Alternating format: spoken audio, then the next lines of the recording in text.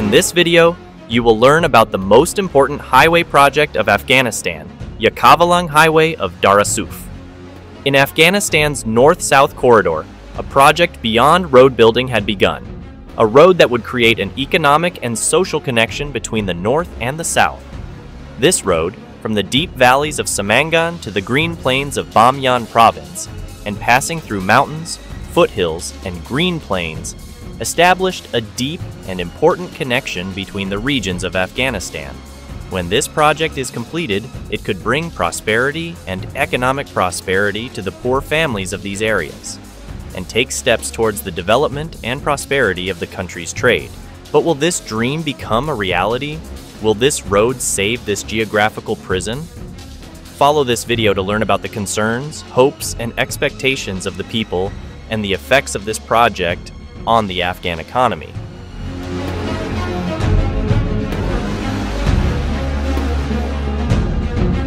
The bituminous work of the Dere Suf Samangan Yakavalang Bamiyan highway had started a few years ago, and 10 kilometers of this highway is tarred. This road is 183 kilometers long and 7 meters wide, passing through the mountains, foothills, and plains of Samangan connecting the north of the country to the central province of Bamyan.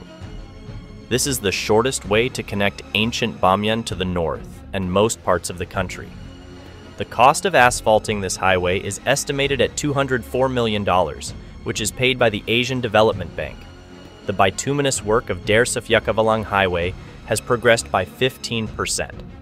According to the passing of Der Suf-Yakavalang Road among thousands of poor families, Economic experts say that the completion of the bitumen work of this road will bring prosperity and economic prosperity to many families. The Yakavalang Suf Valley Road project was opened seven years ago by former President Ashraf Ghani in Bamyan. But so far, the work of its construction has not ended. This road is supposed to connect Bamyan province to the north of Afghanistan through Samangan province and is part of the north-south corridor of Afghanistan. With the completion of this project, the people of Bamyan and the central regions of the country will be saved from the geographical prison. The Afghan government had signed a contract for this project with a Chinese company. The Chinese Road Construction Company, CRBC, was supposed to complete this road at a cost of $204 million in three and a half years. This project was one of the programs funded by the Asian Development Bank in Afghanistan. But now, Years have passed since the beginning of this project. A question arises whether this north-south corridor of the country will be completed or not. Unfortunately, this big project is currently stopped, and its work again is not yet known. The unfinished part of this project can also face the risk of destruction. People expected this project to be completed and to bring the expected eases. The Yakavalang, Suf Valley Road can be an alternative to the Salang route, a path that has problems every year. The construction work of several other sections of this route, including 135 kilometers from Mazar-e Sharif to Darasuf, 43 kilometers from Bamyan to Yakavlang, and 194 kilometers from Kandahar to Chora, was completed by the year 1400 AH.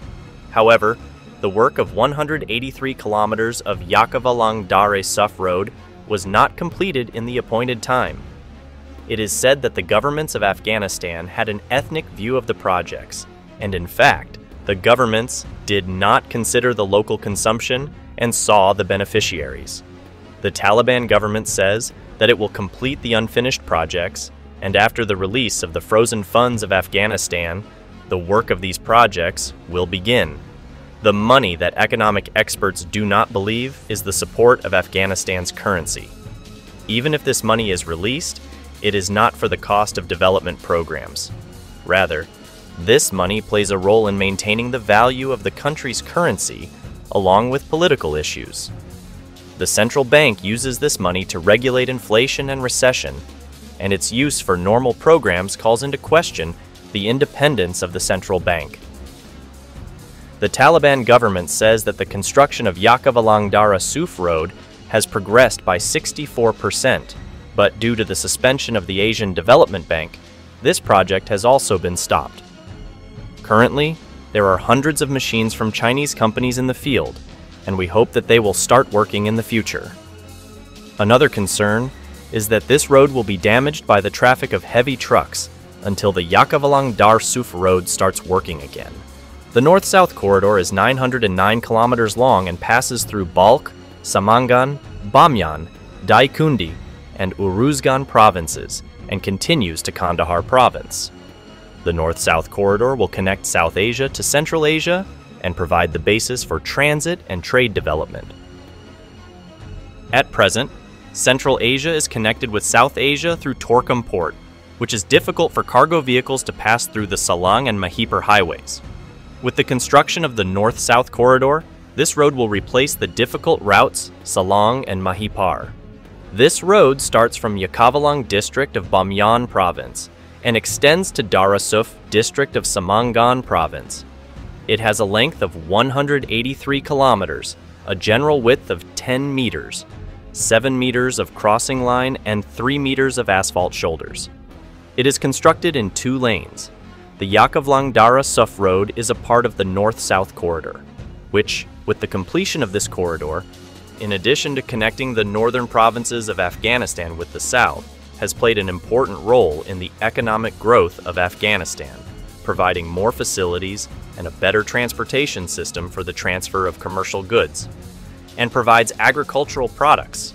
The implementation of this project has created job opportunities for a number of residents of the road, and with the completion of this section, different areas of the road will benefit from the advantages of the asphalt road.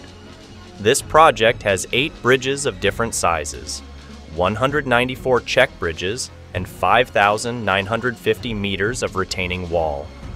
37 small and large villages are located on the path of this road, and the roads of Yekavalang, Dehbehbo, Kodabaz, Dane Tor, and Dare Suf pass through it. Dera Suf Samangan Yakawalang Bamiyan Highway has important benefits for the people and economy of Afghanistan. By connecting the north of the country to the central province of Bamyan, this road improves access to the central regions of the country and acts as the shortest route to connect Bamyan with the north and most parts of the country. Also, this project will bring prosperity and economic prosperity to poor and deprived families in the areas crossing this road. With the completion of this highway, it will be possible to improve transit and trade in Afghanistan and can help reduce dependence on difficult routes such as Salang. This project generally helps in economic development, connecting different regions of the country, and increasing job opportunities in the prestigious areas of Afghanistan. Thanks for watching.